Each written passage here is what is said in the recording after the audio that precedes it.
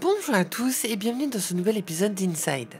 Lors de la conception du Talon, les équipes ont décidé d'exploiter le design aviaire à son maximum et de travailler son esthétique pour qu'approcher de son vaisseau sur un pad soit une expérience en soi. Le Talon normal et le Shrike sont deux chasseurs légers de chez Esperia. Ils privilégient l'agilité sur la puissance de feu. Le Shrike privilégie les missiles sur les canons, tandis que son jumeau a peu de missiles au profit d'un armement plus lourd. Il arrive parfois lors de la modélisation d'un vaisseau que le concept original doit être changé pour pouvoir placer de plus gros composants qui n'étaient pas prévus à l'origine. Heureusement, le Talon n'a pas souffert de ce problème et les artistes ont pu lui donner l'aspect exact qu'ils souhaitaient. Design qui vous renseigne d'ailleurs immédiatement sur son agilité et sa rapidité.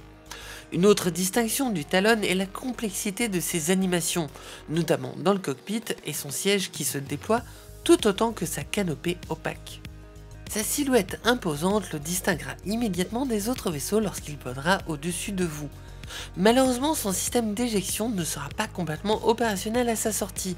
L'équipe a donc choisi de faire un entre-deux, où le siège sera éjecté vers l'avant, duquel vous serez ensuite vous-même éjecté. Vous aurez donc bien droit à une dernière chance même si le système n'est pas totalement opérationnel. Mais ce n'est pas la seule chose propre au Talon, puisqu'il est le premier à posséder une peinture iridescente.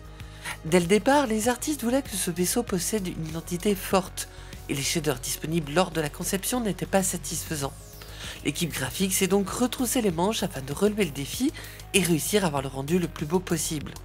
Il y avait tout de même des inquiétudes sur le rendu final, mais les shaders fonctionnent parfaitement et pourraient être utilisés à l'avenir pour d'autres vaisseaux ou objets.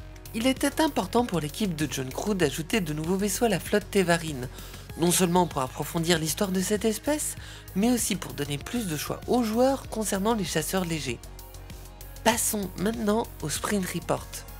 Commençons par le FS9 de chez Bering que vous pouvez voir à l'écran. Cette mitrailleuse prévue pour la 3.12 va bien évidemment encore recevoir quelques retouches avant sa sortie, mais l'objectif est d'avoir un muzzle flash plus petit mais plus réaliste, qui sera parfait lors de tirs en rafale pour donner un retour au joueur sans trop détourner l'attention. À côté de ça arrive également le Gemini A03, et bien que son calibre soit plus petit, lors des premiers retours, il a été suggéré d'en augmenter les effets visuels au même niveau que le FS9.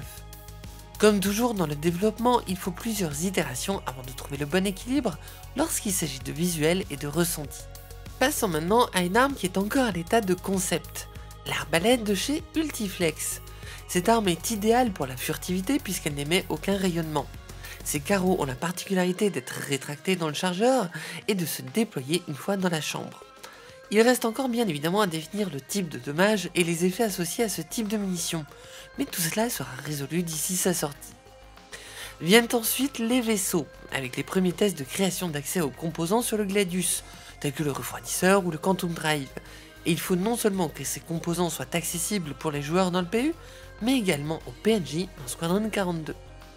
Ensuite, vous pouvez voir ici les débuts de la whitebox intérieure du Redeemer, qui utilise d'ailleurs un système de modules similaire au Vanguard, permettant d'avoir déjà quelques formes qui se dégagent.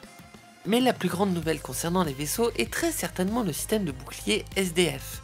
Ce que vous pouvez voir ici est un test utilisant des armes boostées uniquement pour l'occasion, ainsi que des couleurs servant uniquement pour la démonstration.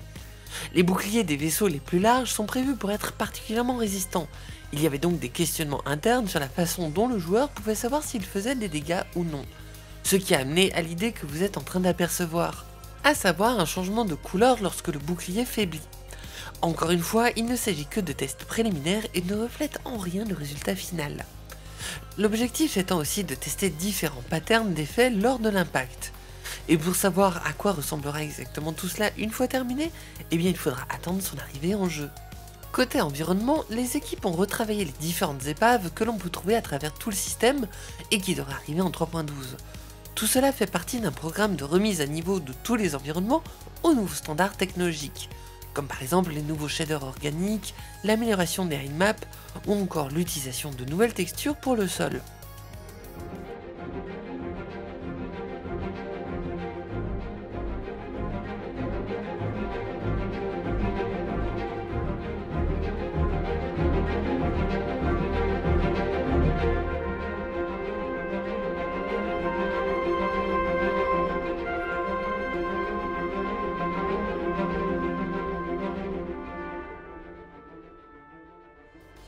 Enfin, les équipes travaillent sur la flottabilité des objets dans l'eau basés sur des entités et sur la création de règles permettant une apparition procédurale de ces objets, qui peuvent aller d'épaves de vaisseaux jusqu'à des icebergs, qui peuvent amener de nouvelles possibilités telles que du parcours pour la récupération de ressources, des objets de mission et pourquoi pas de l'exploration sous-marine. Bien sûr, ce que vous voyez ici est un test de technologie, les visuels ne sont donc pas à prendre en compte.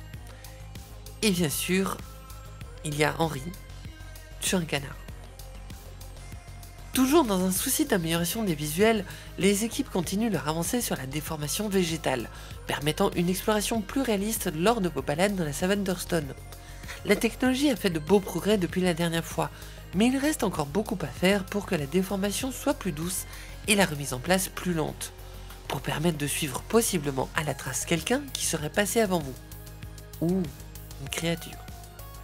Ajoutez à cela la nécessité de créer les différents niveaux de détail nécessaires dans un jeu multijoueur, puisqu'il faut que l'herbe soit belle de près, mais aussi de loin sans trop consommer de ressources. Pour finir, l'avancée des habitations continue avec cette fois-ci le début des intérieurs. Le rôle de chaque espace n'a pas encore été défini, mais comme ces habitations sont faites pour être placées dans les zones les plus reculées, les équipes testent des choses comme des volets de protection contre les éléments extérieurs, ainsi que des déplacements verticaux permettant des opportunités de gameplay. Il s'agit toujours d'une phase d'exploration de leur design et rien n'est définitif, mais ces habitations ont déjà un potentiel énorme pour le futur de Star Citizen. Si vous voulez que ces traductions puissent continuer, pensez à partager un maximum et à nous soutenir sur Tipeee, à vous abonner et laisser un commentaire et un pouce pour que nous puissions être référencés. Cette vidéo est désormais terminée. Moi je vous dis à très bientôt et bisous des étoiles.